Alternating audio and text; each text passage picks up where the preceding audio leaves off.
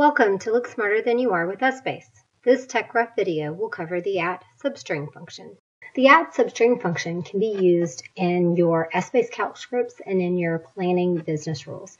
This particular function returns the requested string of characters from an existing source string.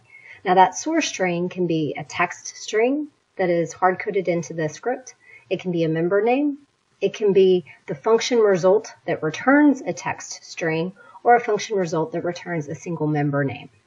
The syntax for at substring is at substring, open parentheses, the actual string itself, comma, the start position, and then optionally, comma, the end position.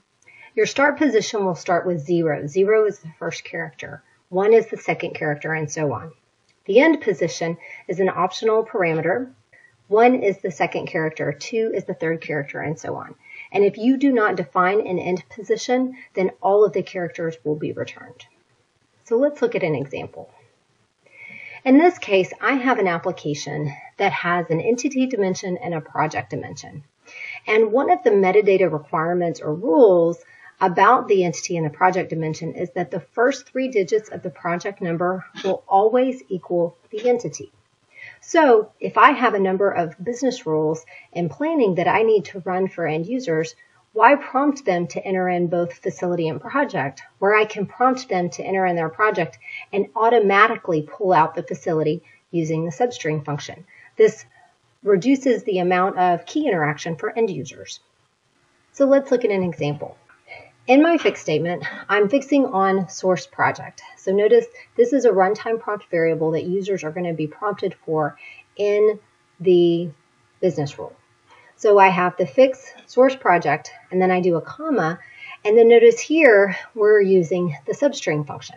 Now the first thing that I have to do is I'm using the at name function to get the, the source project into a text string so that I can do the substring function.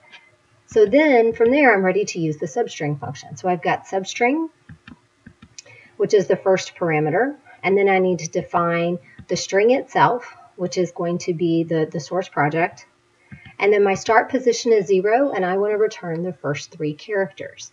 Now, once I've got the substring, I actually use the at member function to, to pull that back into a, a member format so that it can be used within the fix statement. Now my, I have another fixed statement that um, in this particular case, if I have a source project and a target project for my business rule, I use that same substring function.